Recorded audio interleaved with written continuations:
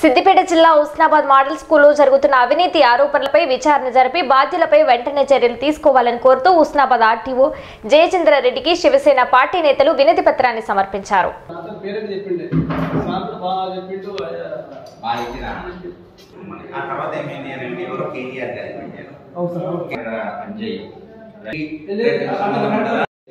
పేరేంటి మాట్లాడితే వాళ్ళ పేరెంట్స్ చూసిన తర్వాత పేరెంట్ తల్లిని ఇచ్చింది వీటిలో కండిషన్ జరుగుతా అంటే ఇంకా అట్లా అయితే ఆమె కూడా ఓడుతుంది మళ్ళీ స్టాప్ కొన్ని రికార్డు మళ్ళీ బయటకి ఇస్తున్నావా?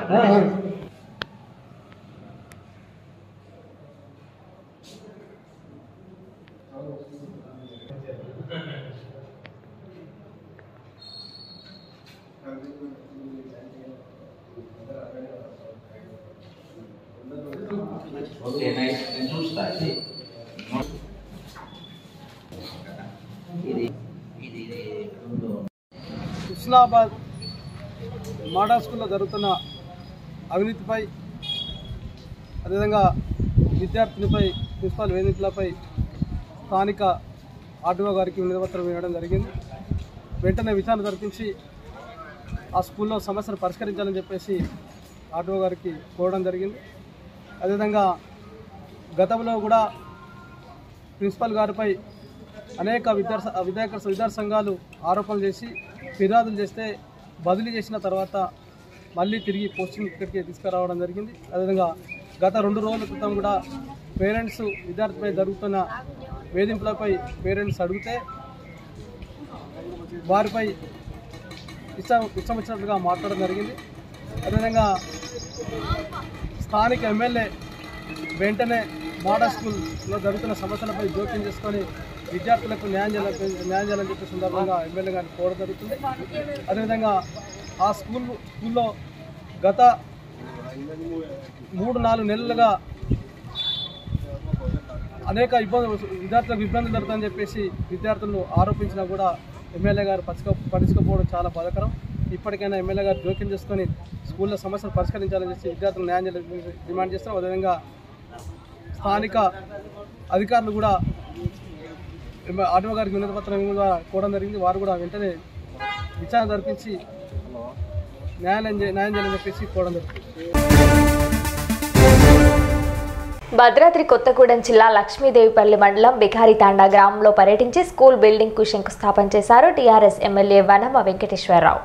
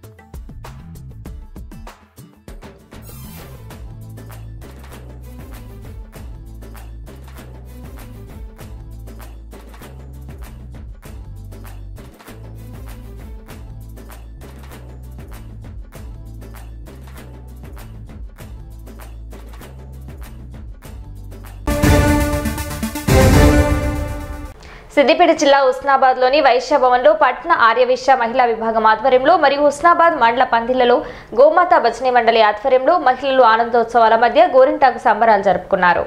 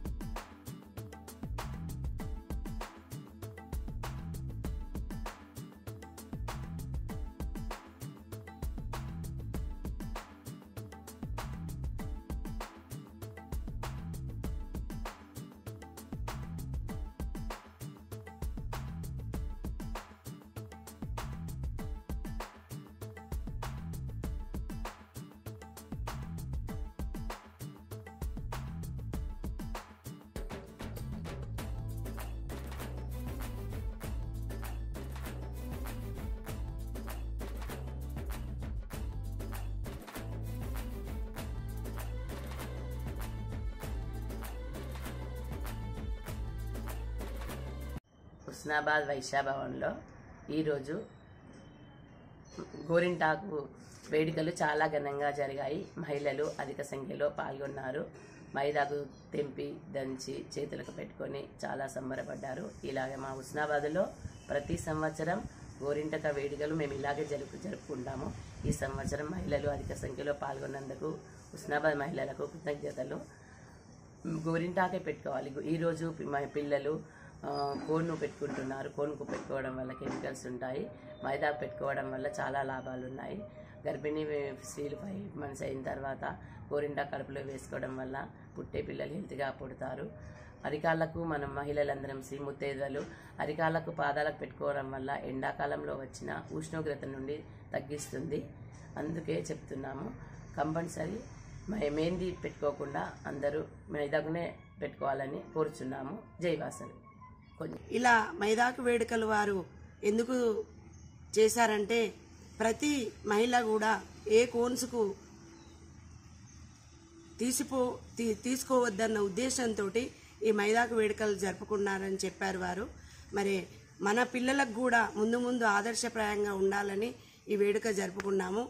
గోరెంటాకు మరి మన చేతితో పండితే ఎంతో పండితే ఎర్రగా పండితే మంచి భర్త వస్తాడని మన పిల్లలకు సౌభాగ్యం ఉంటుందని పెళ్ళిళ్ళలో కానీ ఏ ప్రబోజనమైనా కానీ ముందు జరిపే పండగే గోరెంటాకు వేడుకలు. మరి అలాంటి గోరెంటాకు వేడుకలు ఇప్పుడు చిన్న ఫంక్షన్ అయినా జరుపుకుంటున్నాము. అలాంటి వేడుకను వాళ్ళు చాలా ఘనంగా నిర్వహించారు. సైంటిఫిక్గా కూడా వారు ఎన్నో ఉపయోగాలు ఉన్నాయి మన కాళ్ళు చెడినా కూడా మన అరిచేతిలో పెట్టుకున్న మైదాకు మన రక్త ప్రసారానికి కూడా చలవనిస్తుందని నాడులు ఉంటాయని ఎన్నో సైంటిఫిక్గా కూడా ఉపయోగాలు ఉన్నాయి అది అందరికీ తెలిసిన విషయమే. అప్పుడు పార్వతీదేవి కూడా మన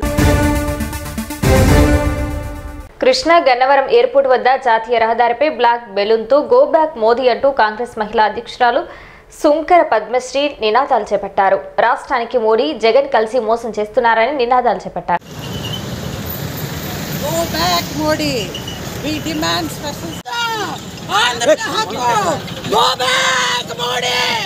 We want special status. We want justice. Go back, Modi. Down, down, CM. Down, down, CM. ఉంటాం, ఏంటది పడేస్తారా ఆ? ఎందుకు ఆ దొంగలేమో రోడ్ల మీద తిరుగుతున్నారు నేనేమో ఆంధ్రప్రదేశ్ కోసం పోరాటం చేస్తున్నారు డౌన్ ప్రత్యేక హోదా ఆంధ్రప్రదేశ్ ద్రోహం చేస్తున్నటువంటి డౌన్ డౌన్. ఆంధ్రాకి మోసం చేస్తున్నటువంటి Modi Jagan Reddy. Down down. Go back Modi